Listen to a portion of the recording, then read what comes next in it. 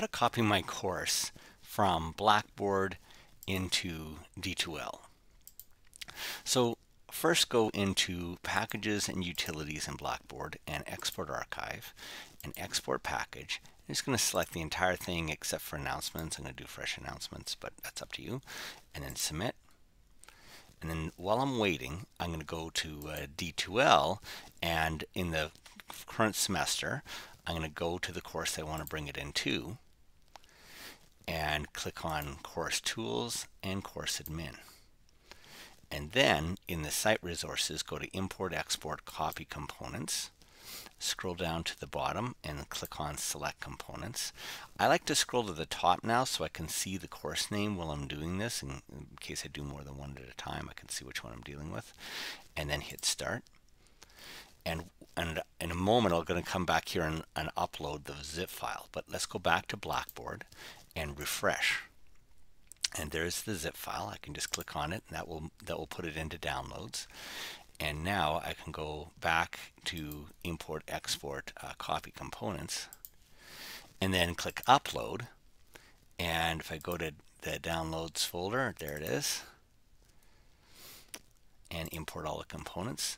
This might take a bit and so while it's importing I just want to talk about a few issues. So um, in my original Blackboard site, I have a discussion board and I have only one discussion forum. And the word for Blackboard uh, in Blackboard for a discussion forum means that a, a, place where if you go in, you can post um, documents or post um, threads or replies to a thread.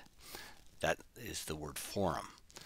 In D2L, um, a forum is a group of what they don't call them forums, they call them topics. Every topic has the ability to post threads or replies to threads. A forum is something that holds a group of topics, and you have to have a forum in order to have topics. So this will auto-generate a topic called forum1 and then a um, forum that that is above the the topic also called forum one. And um, and if there if you have more than one, then it will have a, a new forum for every topic.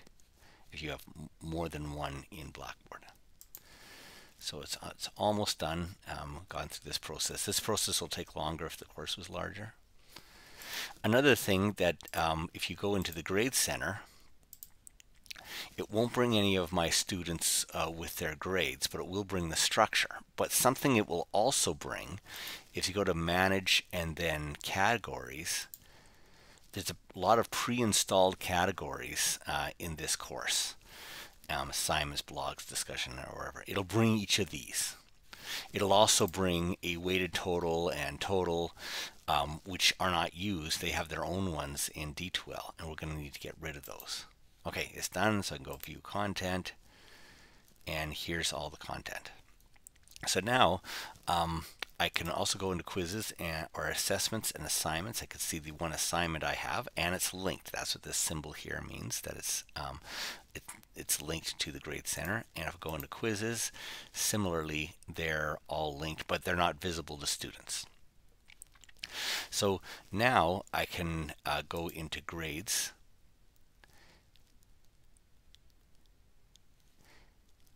and there's all my students and there's the columns. But if I go to manage grades, then I can get rid of stuff. Um, and I have a video on on um, how to get rid of things that are in the Blackboard Grade Center uh, that's brought over to D2L and how to um, how to get that. And I'll include that in the description.